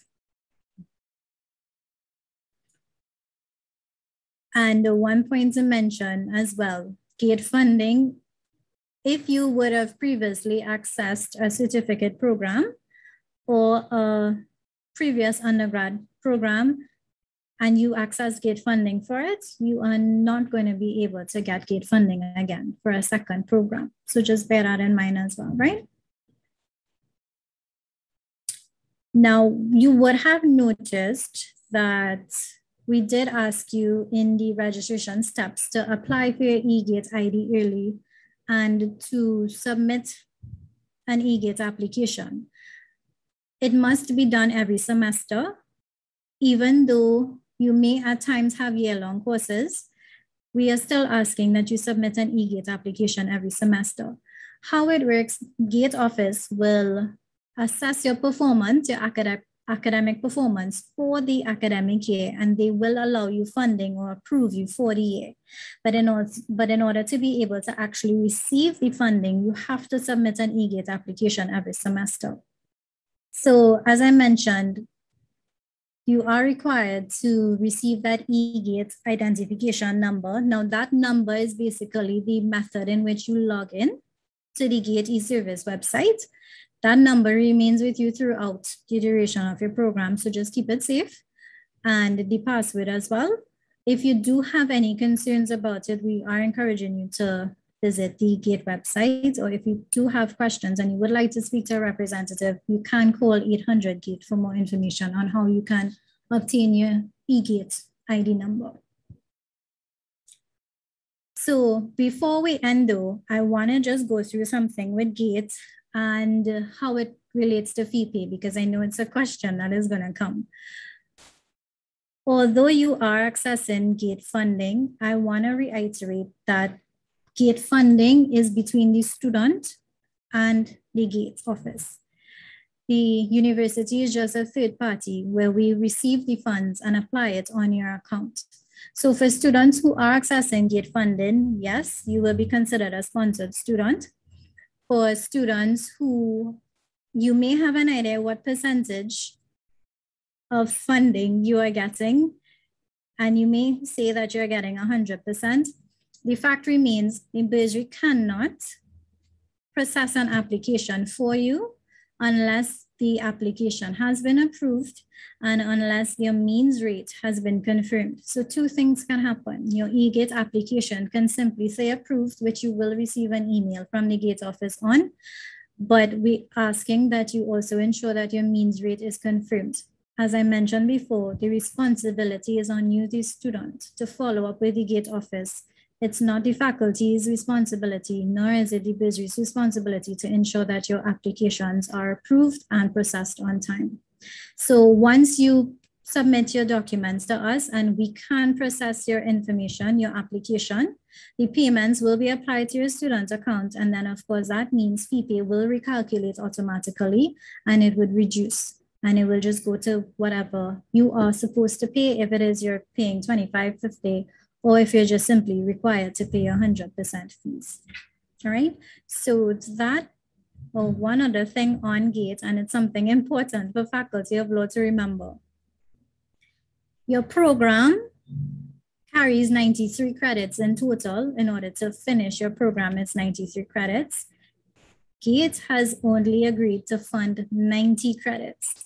So that means as a student, you will have to ensure that these three credits are paid for, but that will only be done when you get to your final year. It's not something that you're going to have to do from year one or year two. It's only when you reach into your final year or your final semester into the program, all right? So that brings us to an end, and I don't know if anybody has any questions. Thank you, Ms. Ali. I'm pretty sure that you're going to get some questions. Uh, so I see Christine has her hand up. Yes, Christine? The hands are going up, Miss Ali, so yeah, Christine, you can go first, then Chelsea, then Joanne. Thank you so much. Um, so I emailed the bursary a couple of months back or about two months back, and I asked a question whether or not students with first degrees, because I recently graduated from UWI last academic year. So I asked if students with first degrees have to pay the compulsory fees of 1500 or 845 And the customer service rep told me we have to pay 845 but someone else is telling me I have to pay 1500 as I'm coming back as a new student into a new program. So can you clarify that, please? Sure. So just to confirm, the program that you did before, was it a different program that you were enrolled in? Yes. And this is with UWI? Yes. All right. So if you're coming back, and you, I'm guessing, of course, you're coming back into Faculty of Law, the fees that we will ask you to pay as compulsory fees, now the caution and the ID, if you do have your smart card, your smart ID card from your previous program, then it's not necessary that you pay for it again. With your caution money, if you did pay it in your previous program, you can have that caution money applied to this current program, but the steps to follow is that we will ask you to complete a caution money refund form. It is on our website, Bursary's website as well for ease of reference. Fill out that form and submit it to us along with your other registration documents. The reason why we're asking to submit that caution form is because we need to ensure that you didn't damage anything in the previous program or borrowed any books and didn't return it. All right. So it's just a it's just for us to know that your $500 is still intact. When you do register, you are going to see the ID card and the caution showing up on your fee sheet but don't don't panic it's just that the system will not recognize your status so it's not going to recognize that you did a program before nor is it going to recognize that you have those things already so it is going to come up but you could just simply send us the information and when we receive your documents when we receive it then we will make the necessary adjustments on your account no problem. Thank you so much for that. You're welcome. Miss Ali, there's a chat. There, there's a question in the chat too. Uh, to mm -hmm. whom do they send the signed fee assessment invoice? Is one question. All right, so Ms. Howard sent the link on the chat, the e-courier link. So it's a, okay. it's no longer an email address. It's now a, a, website that you upload the documents. So we're asking if you can send all your documents, not in pieces. So don't send the fee sheets and then the GATE form and then your proof of payment, right? Send everything together via that upload link. Okay, thank you. Chelsea Perez. Chelsea, you can ask your question. Hi, good day. So I recently completed um, my first in criminology and criminal justice and I'm transferring to the law department.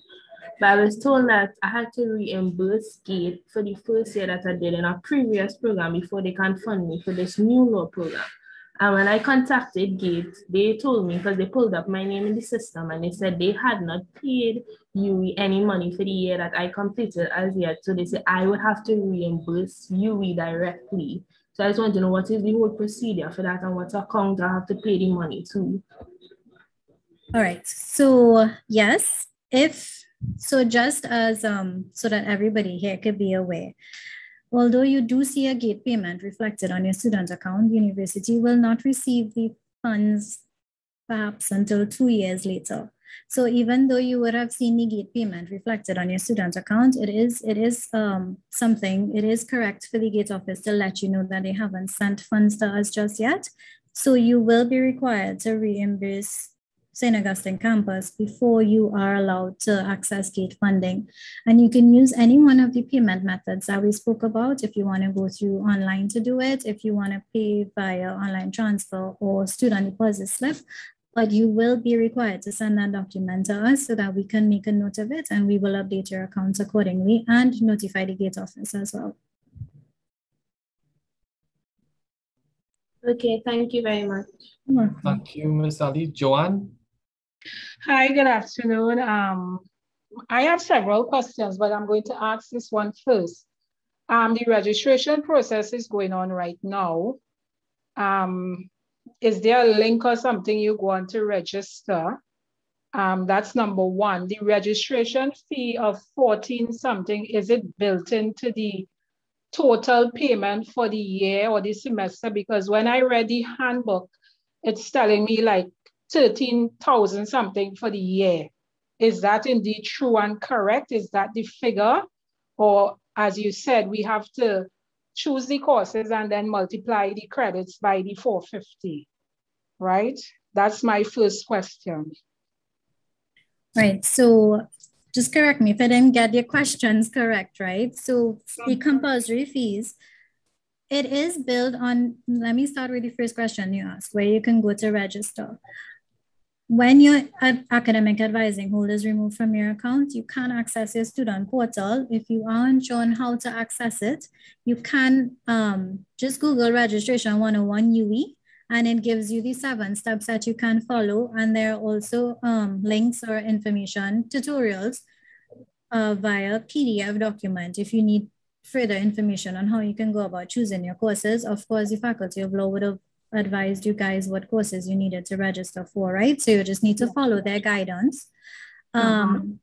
And in that same registration roadmap, you will get familiar with it as you go on, but in that same registration roadmap, it gives you these steps. So the first step is that you select your courses. The second step is that you'll be required to print your fee sheet. The third step is enroll in fee and then FeePay, and then finally gain financial, check for your financial clearance.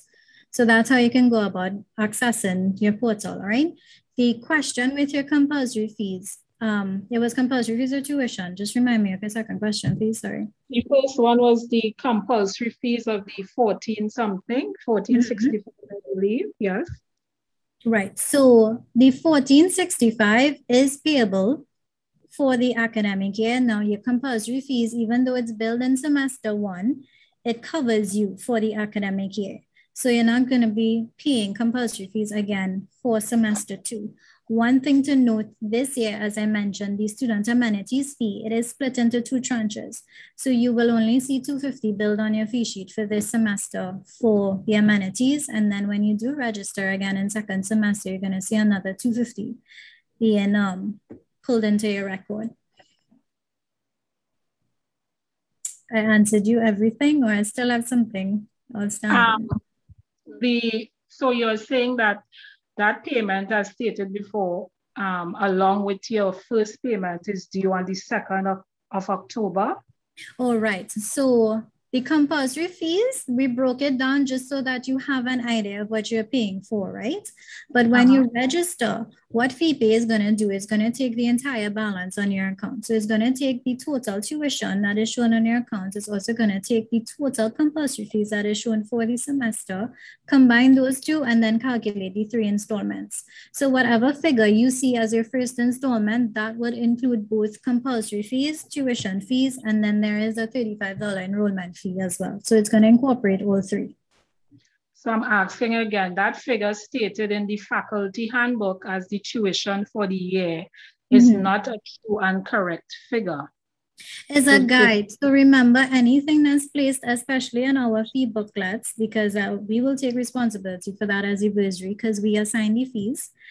It is a guide for you, these students, so that you can plan financially.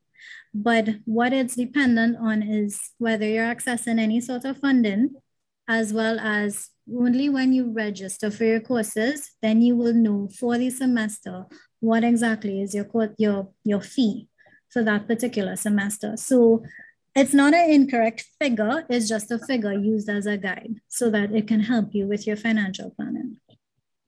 And my last question for this part, um, where I'm employed, they have an, a, uh, like a payment, like they give us a one-time payment, but they are asking for an invoice for that specific amount. Do you all like take like something like a promise to pay? Is that right. possible? No. So what will happen? Now I'm not sure what your organization's procedure is, but what mm-hmm. usually happens if the fee sheet after you register is not sufficient for your organization, you can request something called a fees payable letter. Of course, you'll have to request that information through service desk. Um, mm-hmm. So you could just go on the Bursary's website and the categories are there. So you're just going to select request for a letter. Okay. What you will need to provide for us though is the information. Who is the person in your organization that we have to address it to and give us the address. So we can prepare that letter for you. If it is your organization wants to send the, the funds directly to the university, we can provide that information. But if it is that they're paying it to you, then it remains your responsibility to ensure your installments are paid. All right, thank you. Thank you. Okay, thank you. Uh, your the, the program is supposed to finish at three, so I, am just asking if if persons have questions that are specific to them, maybe the help desk could be useful, but I'll, I'll probably allow questions until uh, the service desk. So uh, if there uh, maybe another another two questions, Crystal. Hi, good afternoon. My question is also to bursary, right? Um, just to confirm, under this, if to register for the student payment plans, is that a separate registration from that of the fee payments um, thing that have been installed, implemented? do I have to pay, do I have to um, register for the student payment plan separate? All right, so FeePay, it does two things. So just let me clarify that. An enrollment in fee is mandatory. So one of the things, more important things that it does, it issues the financial clearance on your account. So yes, you are required to enroll in fee. The second thing that it does is automate your payment plan. So it's not, so accessing a payment plan is not something that you do separately. It's one and the same thing. So as soon as you enroll in FeePay, it issues financial clearance and it autos, it automates the payment plan for you so that you can get your payment schedule. Okay, thank you. And my last question is, um, uh, in the case, because for me, I've done a first degree, right? So mm -hmm. in the case that I have an exemption from two foundation courses, right? We were told earlier that we still have to register for the course, right? And if mm-hmm. I'm also doing the student payment plan, I'm not sure how long that exemption will take to, you know, to get feedback on, right? So what will happen with the funds? Will it be transferred over to, will it remain on the student account to go over to another course or something like that? Yeah, so even if it turns out that you have to pay for it because your your account wasn't updated to reflect the exemption, the overpayment on your account will automatically roll forward to the second semester. So you can always just pay that amount less for next semester if it turns out to be the case, right? Okay, thank you. And one more thing quickly. I saw that um in the first installment is 40%, right?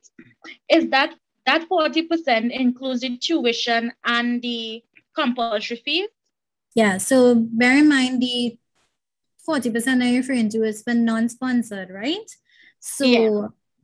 um, that will be, yes, all both plans are designed to function the same way. So it is going to pull both tuition and compulsory fee into all of the installments. Thank you. Okay, y'all, I'm seeing many hands go up. Um, I think that I, I don't want to put Miss Ali. She she was very gracious to field some questions, but I think she's been now been speaking for about 30 minutes, um, and I maybe even more. So anyone who has specific questions, and I'm seeing the hands, I don't mean to just tell you we're not addressing it. There is a service desk link. So the questions that you have, you can post there, and members of staff will be able to give you specific advice on the specific personal issues that some of you um, raising. So I, am just saying Ms. Howard has just put the, the link again. So you can click on the link and members of staff in the bursary will assist you with any of the questions that you have on this. Uh, so Ms. Ms. Ali, I really have to say thank you to you and your team for coming uh, and, and doing as much as you, you've done. I, I, I do appreciate, the faculty appreciates it. So next on our schedule on our program was Miss Christy Smith. Welcome, Smith. Sorry. Yes. yes. Uh, so yes, the, the floor is over to you.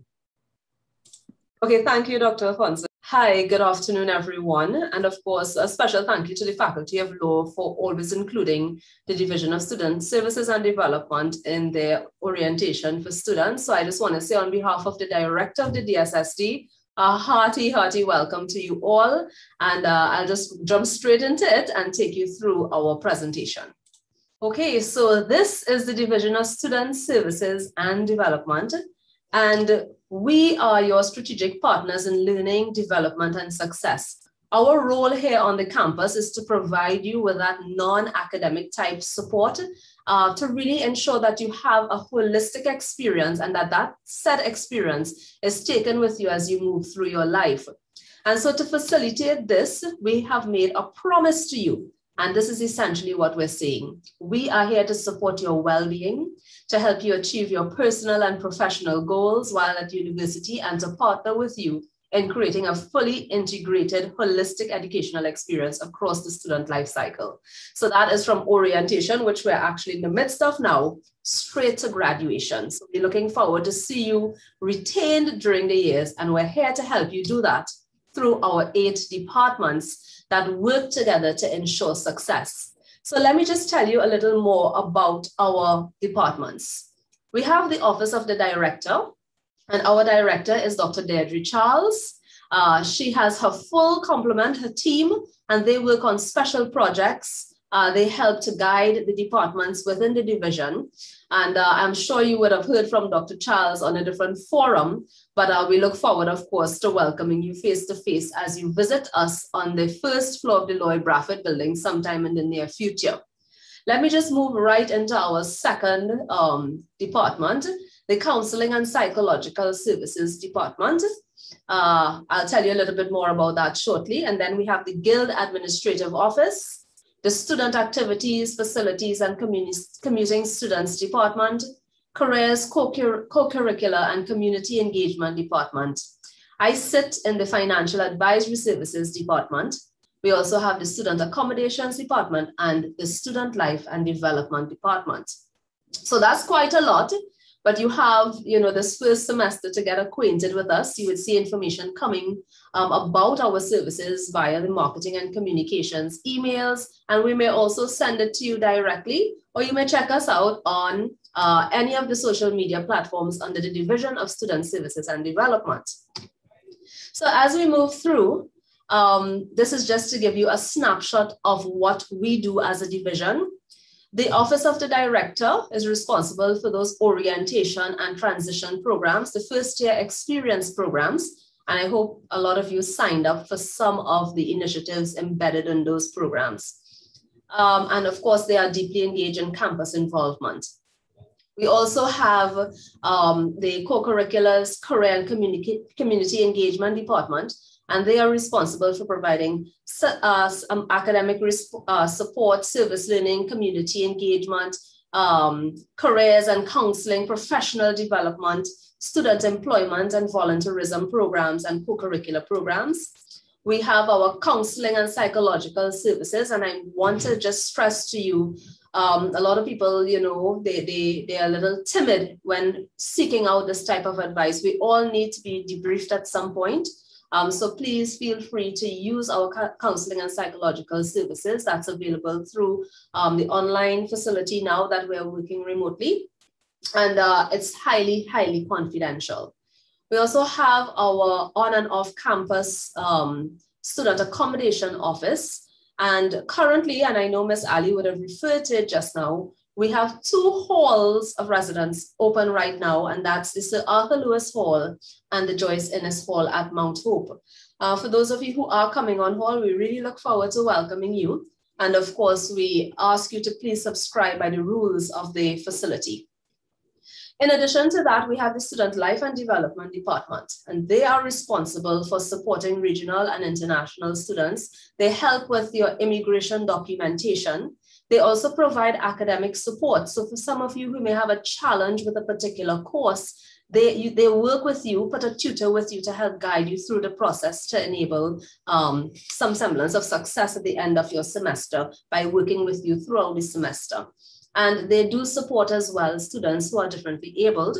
Uh, they have many, many facilities in place. We are an all-inclusive campus. And so I'm always happy to say that um, we support all our students. Uh, in, in addition to this, we this they provide support for not only the undergraduate students, but also our postgraduate students. We also have our Guild Administrative Office, and they work very closely with your Guild of Students executive to ensure that the function and the governance in those offices are maintained and uh, to ensure accountability and transparency. We also have our Student uh, Activity Center and commuting students they work with students who are on and off campus and provide a variety of programs for said students. And finally, I'll just, just touch on my department a bit, which is the Financial Advisory Services Department. And this department provides financial aid for students who may be experiencing challenges through three programs, the Hardship Grant, the COVID Aid Fund, which is donated by your guild, as well as the Adopt a Student Program, donated funds donated by members of the campus community that offers a stipend to students uh, every semester based on their, whether, when they're eligible. And uh, also scholarships and bursaries. And for you students, your incoming students, I, am happy to report that as of today, our scholarships and bursaries application has opened. So you have between today and the 30th of September to get that application in for a non-tuition based award, which simply means that you can use the funds to do whatever you wish, and you may or may not use it towards your tuition fees. So it's going to help you with that fee fee payment plan, the FeePay. Um, once you uh, sign up and you're eligible, you have the opportunity to gain access to some funding. All right, so more or less, this is what we want for you as the eight departments move forward. We want you to attain a positive and enriching university experience, to develop holistically and maximize your full potential, to achieve your personal and professional goals, and to learn, explore, and feel empowered to become the best you that you can be. All right, and uh, in your first year, this is some of the uh, tips that we have for you. Meet new people. Now, I know we're online, but you know how to move around. You know how to get through social media. In your classes, you can utilize the chat from time to time to just introduce yourself and share. Um, build your community, build a community spirit. Set your first year goals. You have an opportunity now to uh, get a clean slate, so to speak. Set your goals and work towards them create a healthy work-life balance. Take some time in between to do your exercise, to pause, uh, to refresh your mind, and to really energize yourself so that when you come onto the online platform, you're ready to go. Uh, connect with your guild. That's very, very important. Your guild is your voice. They speak on your behalf. So we urge you to connect with them. And of course, number five, embrace your campus life experience. I know you're having a different experience right now, but in time. But for now, make the best of it. If some of you would like to connect with us, here are some of the ways you can do so. You can find us on Facebook at facebook.com backslash uwi.dssd. We are also on Instagram at dssd underscore uwista. You can find us on uh, the webpage sta.uwi.edu backslash dssd backslash. And so when you go there, you will see all our departments, all the programs we have to offer. Uh, so we really would look forward to hearing from you. And of course, uh, if you need to get in touch with us via email, student services and development at sta.uwi.edu. So this brings to an end my presentation. I want to thank you for your attention. And once again, on behalf of the Division of Student Service and Services and Development, I just want to welcome you to our UWI campus. Thank you and stay safe. I'll stick around a little bit, uh, Dr. Afonso, for questions. Thank you very much, Ms. Smith, and for always making yourself available to be with us whenever we ask. No problem. So if anyone has any questions, you can feel free to, to write it in the chat so we can go ahead with the program. There's also a survey that has been posted by Ms. Diaram in the chat. I believe there may be some technical issues, but please monitor the chat. You will see the link for the survey, which will be a survey on uh, your feedback on this particular program today. I would like to now move to, and of course, if anyone has any questions for Ms. Smith, please feel free to write them in the chat and she can field the questions there. Uh, we our next presenter is Mr. Hiran Rampasad. He has five minutes to present and talk about the Law Society and the great work that they do and what are some of his upcoming events. Five minutes, Mr. Rampasad. Hi, Dr. Afonso. Good afternoon, yes, everybody. Good afternoon, students. I apologize for the um the loud sounds behind me. The rain has started to fall. Um, so I come to you today on behalf of the Law Society. Uh, my name is Hiran Arishampasad, as Dr. Have introduced me. And my role is twofold. I serve as the president of the Law Society, which is our body responsible for all student issues and whatever student events that we may have. Secondly, I serve as the Faculty of Law representative on the Guild of Students. What this means is really that I am allowed, and we as a law society are allowed to advocate on your behalf and engage you all as students.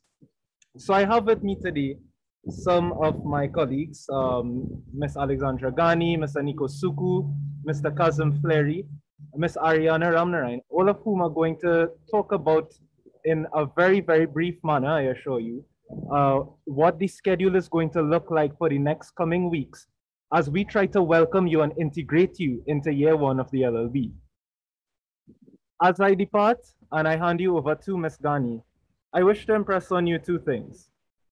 One, be adaptable to the demands of the degree. the LLB is going to challenge you in a way that you've never been tested before.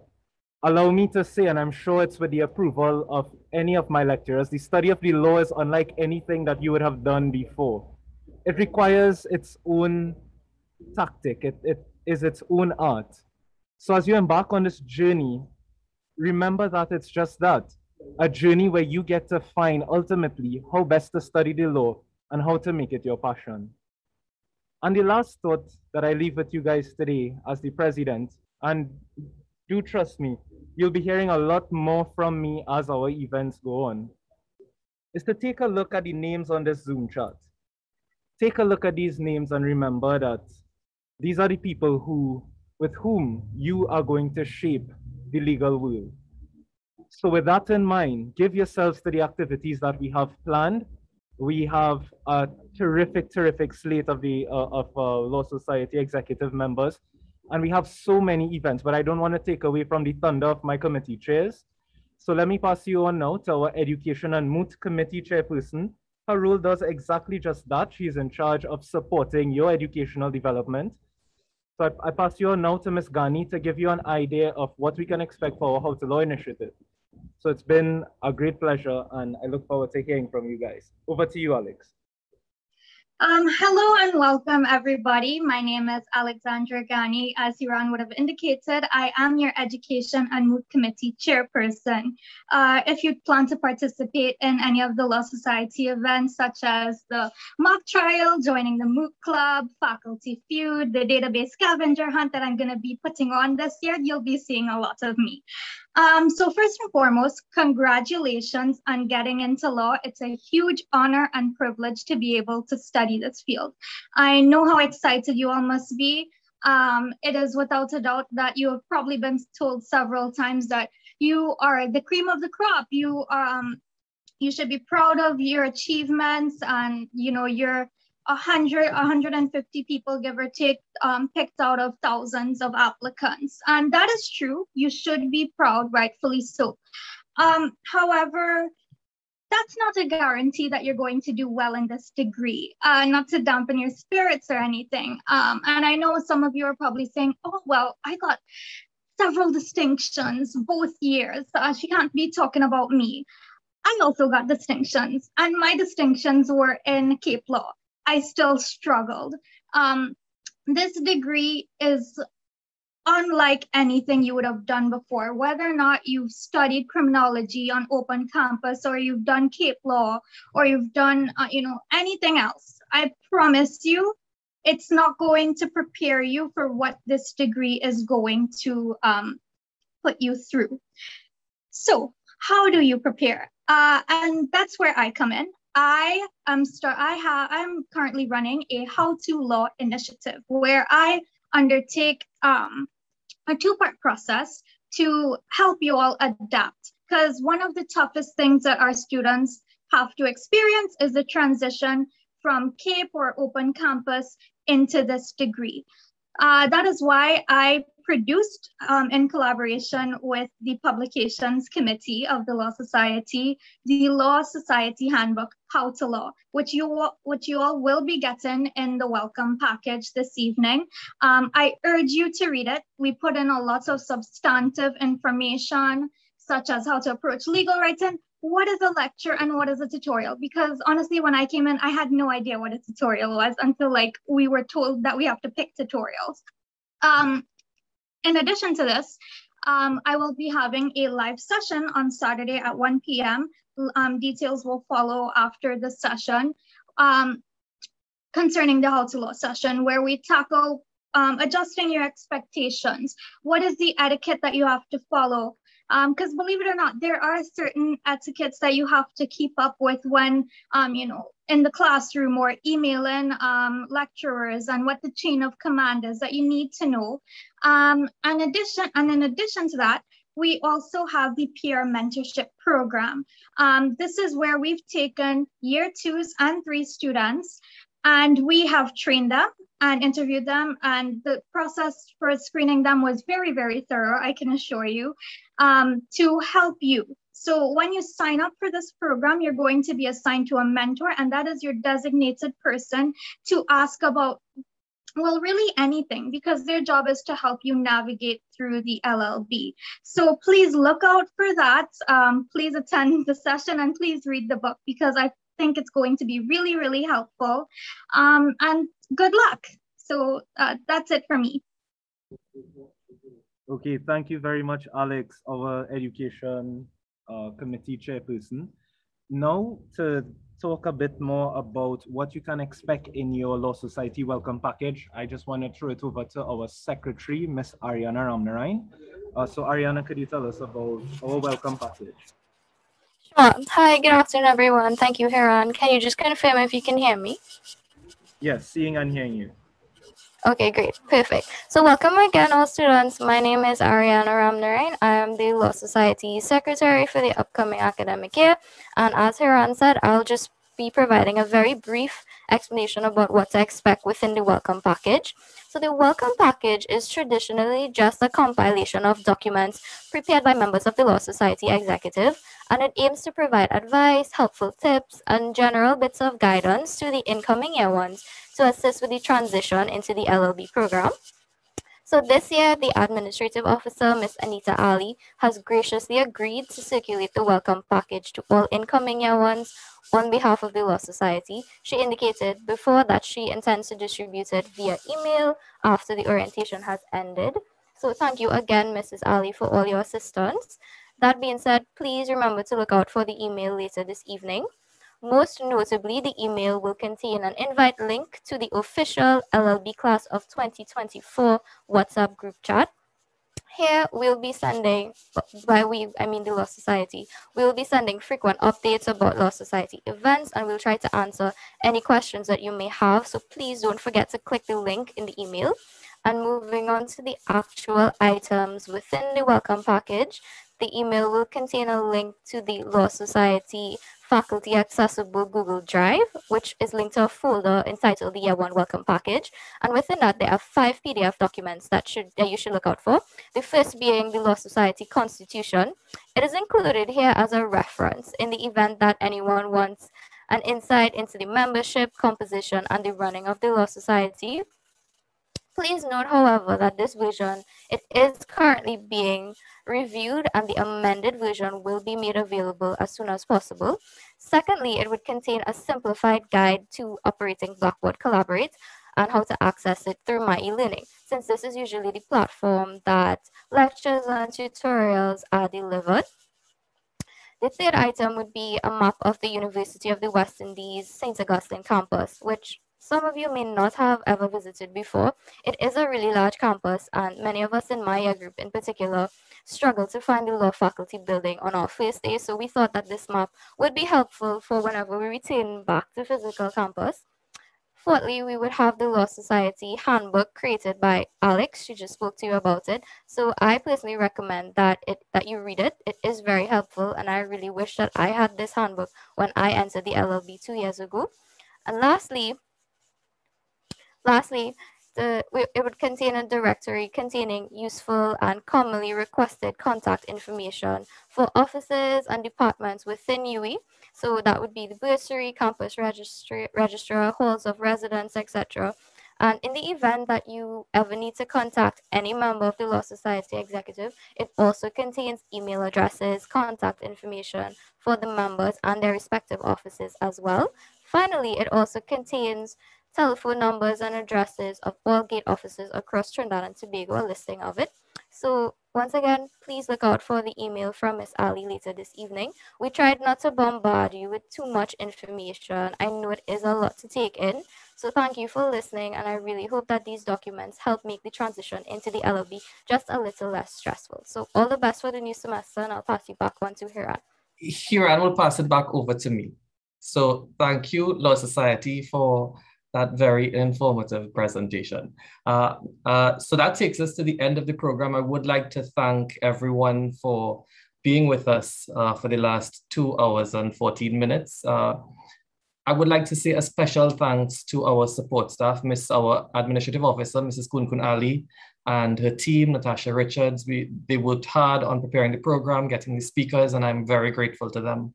I would also like to thank all the lecturers for attending and staying with us all of our presenters who have willingly assisted on short notice and presented presentations, and they are available, um, their departments, to field questions through the relevant service desks. Dr. Balkan?